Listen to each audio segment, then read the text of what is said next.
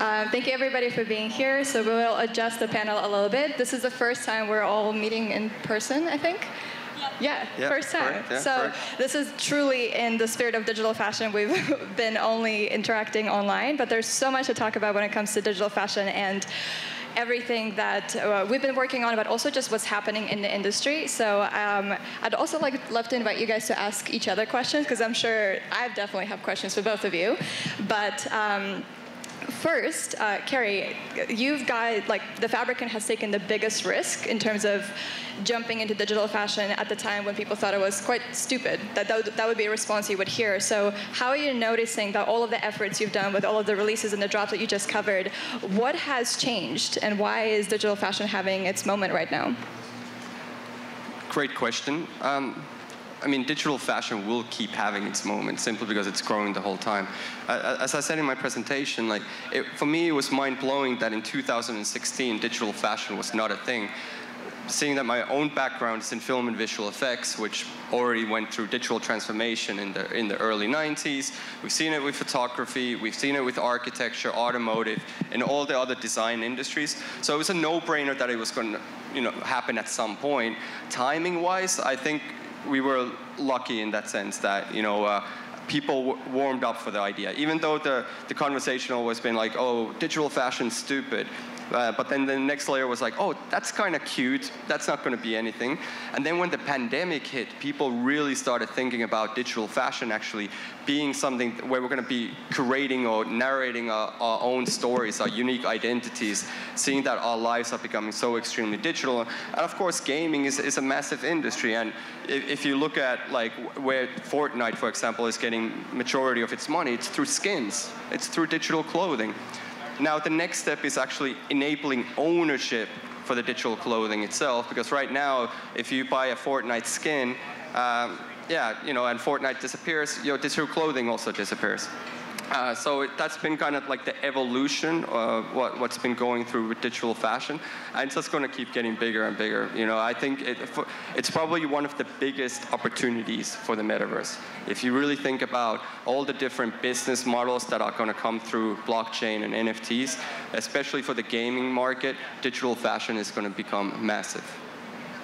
Yeah, and I think even now there's still the overlap between fashion and crypto is still developing. I think it's not an obvious solution to the fashion industry. I think crypto particularly doesn't really care about fashion, but they start to see that fashion is one of the biggest industries in the world, and we all have a relationship to fashion in, in some in some way. We make uh, two different choices every day. We wear fashion for its function um, as a garment that, for example, if it's uh, cold outside, we're wearing a coat to be able to go outside. But then there's also an emotional and a very psychological, mental element to fashion, which is all about how you feel. It's about fun. And uh, Emma, I think you stepped into this industry not having come from fashion, so you have a very fresh perspective as you're looking at the infrastructure, how it's been running this whole time. So tell us more of your journey of actually choosing to get involved with the digital fashion and how your background helps you see it in a different way. Yeah, um, thank you. Good question. So, um, my background is in fashion. It's actually very much rooted in Web3. And um, I came into Web3 about five years ago, and I was really focused more on the financial aspect. So, I came into DeFi. And then um, from there, it was like a progression of really understanding how the entire medium of where everything operates and exists today, every single industry, every economy, is radically changing, transforming. Um, it's a paradigm shift, and so many people can't see it. And this is really how paradigm shifts work. Um, we cannot see what is right in front of us, and then um, the transformational upheaval takes place. And then what happens is, is everyone can't remember what the previous worldview uh, held sacred. And that's really what we're seeing today, because what is Web3, what is the blockchain in its most pure form? It is an uncensorable, self-sovereign social coordination technology. And why is social coordination so critical to everything? Is because as humans, we communicate and we coordinate. That's literally what distinguishes us from every other animal species. Um, it's what gives us our advantage. That's how we build cities, it's how we build societies, it's how we build global economies, nations. And um, if you see now, I mean, like just to kind of add on that too, Facebook, it's a social coordination technology. Airbnb, social coordination technology. Uber, literally everything. And so when you start to realize that um, the social coordination kind of medium that we've been relying on for the past seven decades or 70, 75 years since World War II um, is changing, then you start to see, like, holy shit, this is a massive techno, techno-cultural revolution that is bigger than um, the computing age, that is bigger than the production and transfer of energy, bigger than um, literally anything that we've seen before, like air travel, any of these massive kind of shifts and moments in history. And so um, I started to really see that and understand then what that means when we think about the metaverse moving forward and everyone in um, Web3, which really what Web3 is, it, it is this kind of in its full expression, the open decentralized metaverse. Everyone now can have this social coordination technology across governance, capital, um, and everything in between in their pocket, in their device, then that transforms um, just the way that we live today and fashion is the interface that is tangible. It's in meat space, it's in the digital realm. Everyone can understand it's how we render, it's how we, we self express, um, how we communicate with each other. And so, um, yeah, it was really seeing that and then understanding. Um, how that kind of focal point is critical to building everything off of it. I love how you're describing the revolution that crypto and the blockchain ecosystem is able to foster.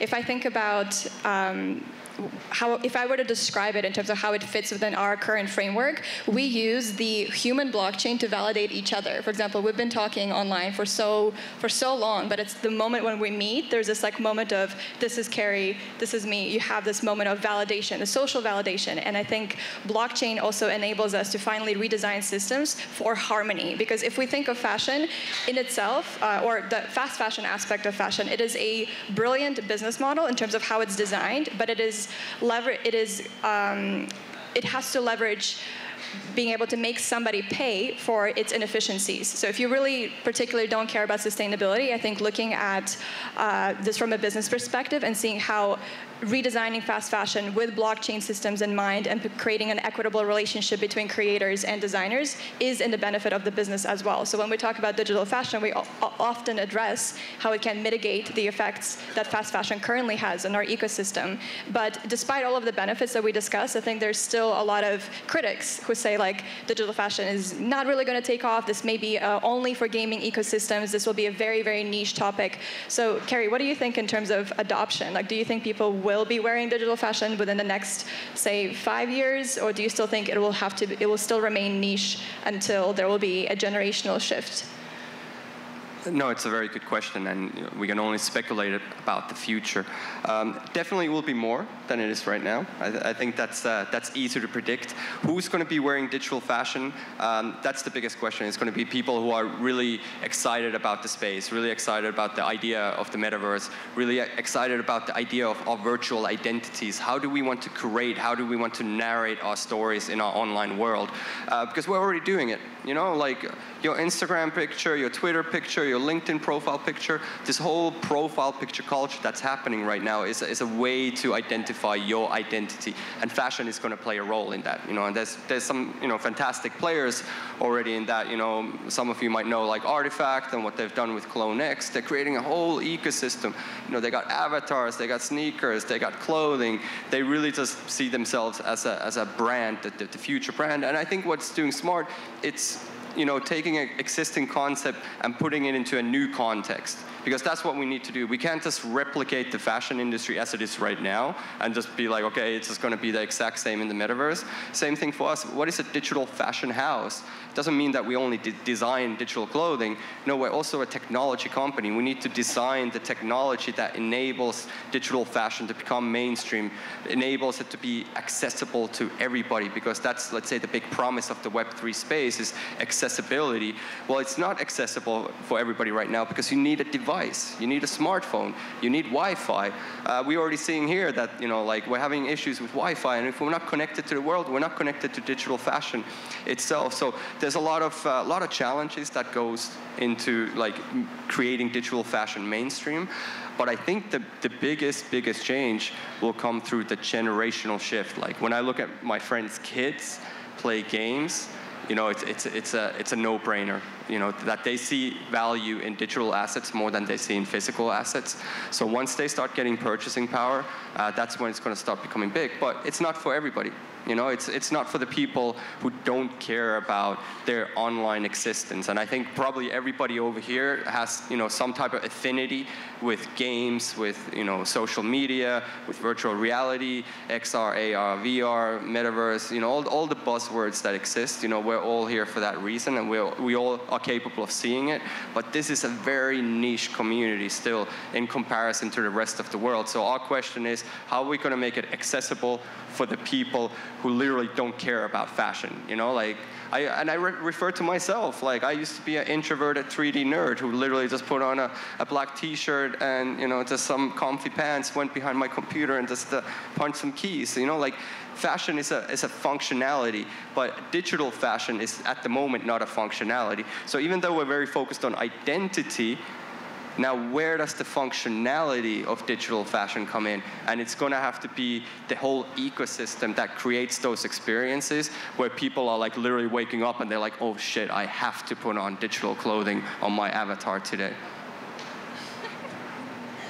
Wow, I think what's really interesting about this notion of actually caring about digital relationships is because I think most of us in this room has developed a virtual relationship with somebody. Maybe it's a pen pal, a coworker, a colleague, a friend, and that relationship feels no less real just because it's digital. So when we start to talk about identity, just because it's virtual doesn't mean it is far removed from who we actually are in real life. Some people say like, I don't want to wear virtual clothes, I want to wear physical clothes. I don't think digital fashion aims to replace physical physical clothes, but it is changing our relationship to what does it mean to self-express. When it comes to NFTs, I think, uh, and how they enable essentially the sale of fashion and digital fashion, sometimes it feels like people are selling magic beans. They're like, ah, this is going to change fashion from the ground up. So th- there is, like you mentioned, Kerry, that utility is so, so important when it comes to the application of the garment. And yes, uh, we're not designing this for people that don't believe in this. I personally appreciate the critics because they usually bring up important questions around what's not not working. I, I really love to listen to somebody who says, really cool what you're working on, but I really don't like X, Y, Z, because then it turns into a conversation. And if there's a critic here, please find me after. I'm curious to talk to you. Um, but Emma, I think when it comes to brands and the current landscape of how fashion functions, there's luxury labels, there's fast fashion labels, like that entire ecosystem, I don't think is thinking of appending itself to then just embrace digital fashion. So what's it going to take for fashion to really start to change? Um, and I think with you, you're starting with infrastructure. So how, what, what role does actually building infrastructure for digital fashion to become accessible play in this? Yeah, so um, to address as well your, your question on brands and looking at what is the current landscape of fashion and how do we actually um, get it to be authentically native to Web3? Well, first of all, we have to look at um, Web2 itself and how I kind of like to describe, okay, what is the difference between Web 1, Web 2, Web 3? Um, Star Wars. So, Web 1, A New Hope. Web 2, Empire Strikes Back. Web 2 is when all of that new hope that we had, um, the Empire, and they come and say, nope, sorry guys, like you thought that you could take it from us, but we're going to regain control. And then Web 3, Return of the Jedi. Web 3 is when Luke Skywalker um, slays the old decrepit empire, throws him down the shaft, and we take back what was rightfully ours. And in 789, that's just a bad nightmare. I mean, we can all ignore that. Um, but in, when you look at that, okay, what is the strategy of the empire? What has been the strategy of the empire for the past 70 years? What have we all been grown up um, being like told, taught? How do we operate? How do we execute? It's really, really simple. Buy, copy, kill buy, copy, kill. That is the strategy in Web 2, and there's all different scales of it. Zuckerberg is really fucking good at buy, copy, kill. That's literally Facebook's strategy. And then you have every kind of nuance in between that. Um, and so when you understand that, and now you look at Web 3, you realize that Web 3 is a complete rejection of buy, copy, kill. And how do you actually go and you implement that? Well, you've got to do three really important things. First of all, you have to decentralize the tech so this is why um, blockchain technology, NFTs, ERC20 tokens, they're really powerful. Then you have to decentralize the governance, so distribute the power, create checks and balances. And then number three, which is probably the most critical, you have to decentralize the capital stack. if you don't take the money um, out of the old static structures, if you don't um, circulate the money flow, which is really what capitalism at its root is all about, the generation and the circulation of wealth. And America right now is not capitalist. We are a debt-based society. It's just issuing debt and IOUs. Um, but you've got to do those three things. And anyone who says to you that they are in Web3 and they are not actively working across those three areas, decentralizing the tech, the governance, and the capital, then they are lying to you, and they're also probably lying to yourself, uh, to themselves. Sorry. Um, so they're really important. And so when we think about bigger brands coming into the space, um, I usually have two reactions when people tell me, you know, there's this brand XYZ and that they're coming into Web3 or they're, they're doing like an NFT fashion launch. Number one, I'm like, amazing, great, because that means exposure, that means activity, that means expanding the market, productive capacity, vitality, all the really important things that you need for momentum and engagement. And then the second thing that I, I think about is where does the money come from? This is a really important question. Where does the money come from? What VC are you in debt to? Which loan shark is propping you up? Um, what theatrical play are you trying to attempt to make at Web3 um, by putting it in a Web2 box or using Web2 tooling, using Web2 capital tooling to try and enable this new market to grow. Um, and good luck to them, but we all know how that ends, and it ends pretty badly. So, um, in order to really take the industry into to Web3, to enable any, every designer, independent designer, to launch their own market, to go out there, to create capital, to create wealth, um, it means you have to rely on the strengths of Web3. Because as I said before, the entire medium that we're existing under is rapidly transforming. Um, it's like nothing that we've ever seen before. And just like all paradigm shifts, it's really hard to see when it's right in front of your eyes. And so, um, yeah, I mean, it's that thing. Brands can come in and they can mint fashion NFTs. They can say that we're creating a blockchain marketplace, but that is not Web3. Web3 is actually being a Y Combinator of Web3 itself. It means advancing Web3 principles. It means being self perpetuating on what Web3 is. And this is why um, allowing designers to be able to come into the market, reduce friction, reduce barriers, sell an NFT that is this value conduit, where now they can gain capital directly. They're not in liability to a loan shark, to a VC, um, and they can operate in this, this open market where they can now breathe. We no longer need the Web 2 behemoths um, suffocating the choke points. So everyone has to rely on them for, for our health, our wealth, and our growth. Um, and that's what's so powerful about that. We don't need that system anymore. When we were standing back, yeah, let's clap. Woo! When we're standing backstage, I said, Emma, I have a theory that you drink Tabasco sauce for breakfast.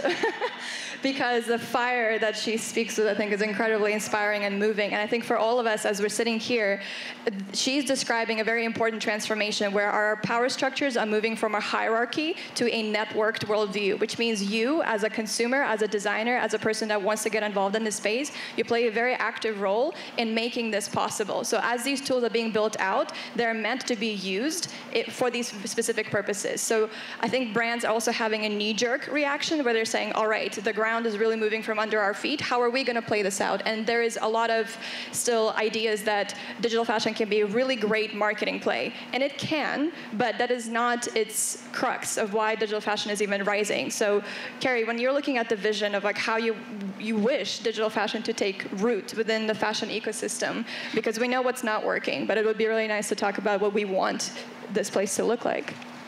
Yeah, that, that's a great question. Um, uh, come back to the point that we definitely don't have to look at the fashion industry how it is right now and just replicate that. We we have to redefine what that means. And it's just like what DIGITALAX is doing, what RTFKT is doing, what all the digital fashion players are doing. They're basically doing it in, in a new way. You know, really just coming from this perspective of having zero understanding of how the fashion industry works and trying to redefine that. If you really look at, let's say, the supply chain issues that the fashion industry has, it's, it's massive. Like you, you cannot scale that business model. And the business model is so focused on selling more physical clothing.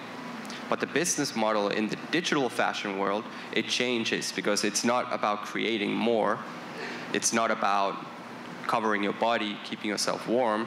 You know, it's about so many different aspects. So we have to recontextualize and think about what does digital fashion mean in the future? How is it going to impact our lives? And then be creative with that. I always say, what everything that we're doing is is, is a connection between creativity, technology, and business models. We're extremely good at the, the creative side of designing clothing. We're extremely good at creating tech and pipelines from the visual effects industry to optimize this clothing to multiple different environments. But the, the biggest creative challenge for the digital only fashion industry is what is the business model that you tie into it? How are you going to be able to scale as a company? Because what I saw from selling our first digital only dress on the blockchain, nobody took us seriously un until we started making real money with it. Now if, now, if companies are making millions and millions because of digital only clothing, people are going to start asking questions of what's happening over there. Um, so I think we're, we're in this turning point right now. Um, I think all the, all the front runners of digital fashion are at this conference other than RTFKT. Um, so yeah, a, for, for, me, it's a historical moment, and I feel very proud to be in a panel with some uh, uh, inspiring innovators, and I, I, still have to meet a few others as well. Uh, um, does that answer your question, or did I just yes, ramble? Yes, absolutely. I mean, the business model needs to support this vision, and in many ways, it means completely abandoning it. And I think that's a decision that somebody has to be prepared to make to leave that behind completely. And if I had to think of what I would really want to see is digital fashion being connected more to culture, because I don't think fashion is really meant to be experienced through a like through the go through wind shopping experience. You're not supposed to be in this giant room calling through different sizes, going into fitting rooms. I think fashion is very reflective of who we are, of our culture, of where we come from, of how we want to feel. It is very personal, and it very often is disconnected from the very thing that makes it mean something to us, which is our memories, our, our experiences that we've had uh, at a concert. And that's part of the reason why we even buy merch, because you would have a moment listening to somebody you really love, having a great memory, and then buying a t-shirt that's cheaply made somewhere that's going to fade out and that really just going to you know deteriorate in value other than the fact that it will still mean something sentimental to you. And I think NFTs uh, can give us a level of customization for fashion and fabrics and a virtual space that can just unleash that very aspect that we enjoy so much about merch. So my focus has, has been on uh, building that bridge between cultural experiences as well as how fashion can reflect those specifically for you and your digital wardrobe. And now onto you, Emma. Please um, share your vision of how you would like fashion to be transformed by, uh, by this technology. Yeah, um, so I always like to distinguish between like just digital fashion and then also Web3 fashion because there, there is actually a really important um, distinguishment, distinguishment sorry, to be made. And um, okay, visually they might look the same. So say if we're both wearing like a digital dress, from the outside, no one would really know.